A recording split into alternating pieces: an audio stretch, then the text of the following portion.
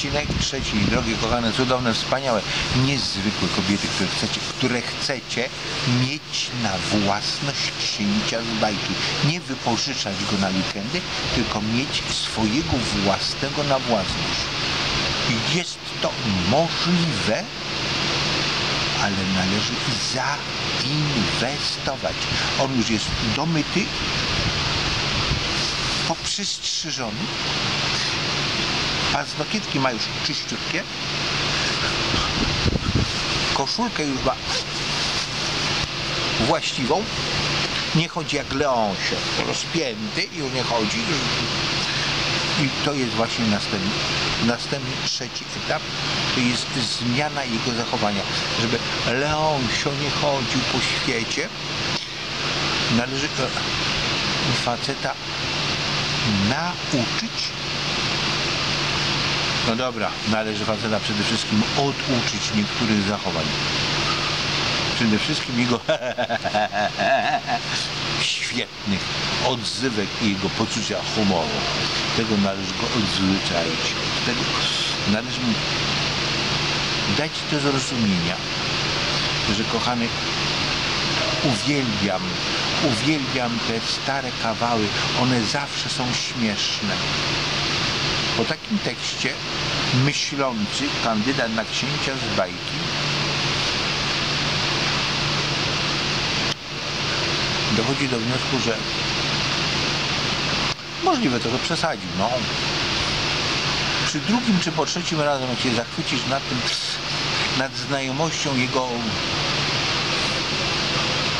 genialnej ilości, genialnej ilości tych kawałów, które były opowiadane właśnie przed, w okresie przedwojennym lub międzywojennym, no, no, za czasów komunizmu. To były świetne kawały, te kochane, te kawały z czasów komunizmu są zawsze, one są zawsze zdrowe, zawsze żywe, kochany. Popatrzysz serdecznie na niego i mówisz, i mówisz mu patrząc głęboko w oczy, wiesz,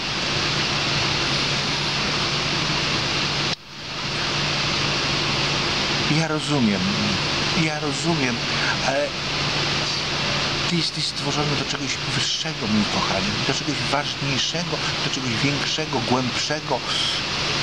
I w niektórych, w niektórych momentach on jest gotów nawet nauczyć się na pamięć jakiś czterowiersz lub ośmiowiersz nawet liry. Co tam? Erotyk nawet jest w stanie powiedzieć. I dlatego, drogie Panie, ja wiem, że to wymaga nakładu pracy, jednak przy Waszych zdolnościach do prawienia komplementów i do wynagradzania każdego kroku we właściwym kierunku najważniejszą nagrodą dla faceta. Czyli jak masz psa i go trenujesz i go uczysz i go wychowujesz pieska, to nie karcisz jego złych zachowań, tylko nagradzasz dobre. I ten piesek wtedy z radością się uczy. Podobnie jest z księciem z bajki. Nie karcisz go, nie szczelasz focha, tylko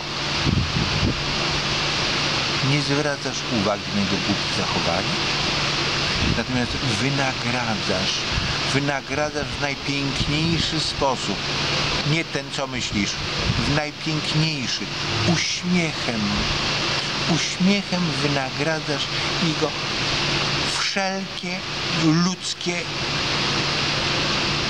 i prawie książęce zachowania informuję Cię, wszystkie koleżanki będą Ci zazdrościć, gdzieś Ty takiego wykopała, gdzieś Ty takiego znalazła. Jest to dość ryzykowne, gdyż 99% bab leci na gotowca. Chcą od razu księcia z bajki. Nie są zainteresowane materiałem, z którego księcia z bajki można stworzyć. I to jest podstawowy błąd u kobiet. I drogie, drogie, szanowne, cudowne, wspaniałe, ukochane kobiety, informuję Was, że w drugą stronę też nie jest tak łatwo znaleźć księżniczkę. I możliwe, że wcale nie, będzie takie, nie będziecie takie zadowolone tych filmików, jak wychować sobie księżniczkę. Ale na razie trzymajcie się.